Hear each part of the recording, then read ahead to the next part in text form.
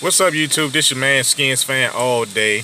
Um, breaking news. Um, I don't know if this is true.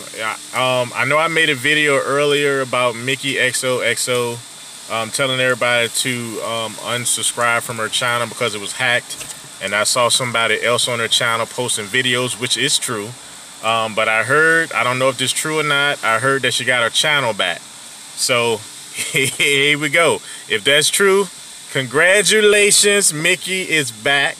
Um, so I got to reach out to her and see if this is true or not. So I can, um, I'm making this video now to, you know, to let everybody know that go ahead and um, just reach out to her first because I got to, I got to reach out to her. I want to see if she got her channel back.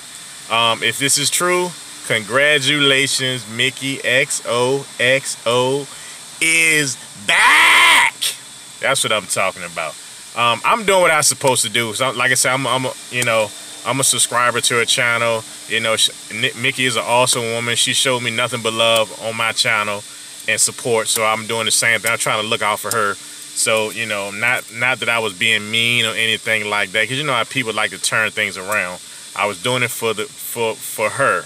You know, tell everybody to unsubscribe from that channel because the person did hack her channel and that person was on her channel and they was putting videos on her channel that was not her. That's why I was telling everybody to leave her channel, leave that channel. But I heard she got it back. So if this is true, y'all already know what to do.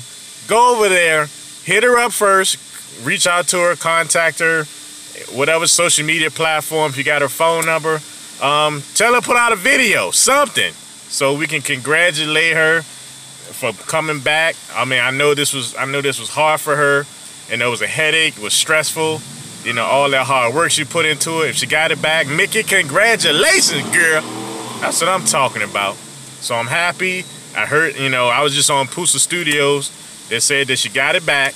Um, so if you guys just make sure first, guys, just make sure first.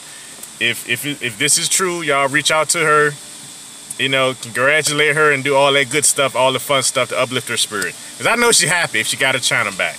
Congratulations, Mickey. This your man, Skins fan. All day. All day. Until I see you live. Peace.